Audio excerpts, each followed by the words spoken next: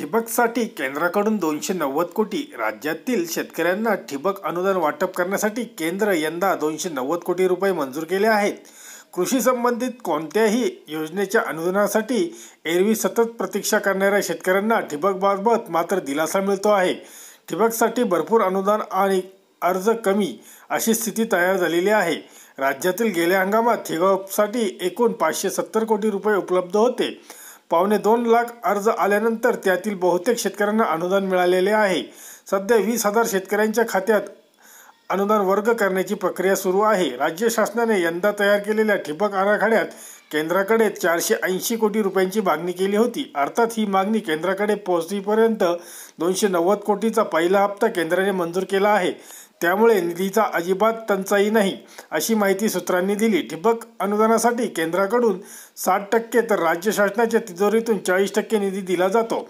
यंदा राज्याच्या एकशे त्र्याण्णव कोटींचा हिस्सा विचारात घेता शेतकऱ्यांना वाटण्यासाठी एकूण चारशे त्र्याऐंशी कोटी रुपये उपलब्ध आहेत.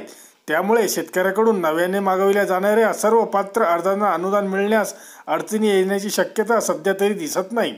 शेतकरी आपला अर्ज भरण्यासाठी Mahathibak dot government dot in या संकेतस्थळाची मदत घेत आहे. अर्ज करण्याची सुविधा यंदा एक जूनपासून सुरू करण्यात आली आहे. आतापर्यंत पंचवीस अर्ज पंचवीस हजार अर्ज अपलोड झालेले आहेत.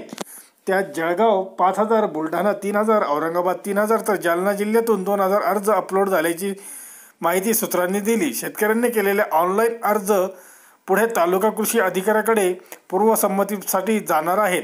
पूर्वसंमती मिळतात. तीस दिवसात कोणत्याही कंपनीकडून ठिबक संच बसवण्याची संधी शेतकऱ्याला मिळते. अर्थात संच बसवल्याची पावती व अनुदान मागण्याचा प्रस्ताव शेतकऱ्याला पुन्हा तीस दिवसाच्या आतच ऑनलाईन सादर करावा लागतो. तसे न केल्यास पूर्वसंमतीपत्र आपोआप रद्द होते. धन्यवाद. व्हिडिओ जर आवडला असेल तर शेअर व लाईक करायला विसरू नका. आपण चॅनलवर नवीन असाल तर चॅनलला आत्ताच सबस्क्राईब करा व बेल आयकॉनवर क्लिक करून मी टाकलेले अपडेट लगेचच्या लगेच मिळवा. धन्यवाद. भेटूया पुढील व्हिडिओसोबत तोपर्यंत नमस्कार.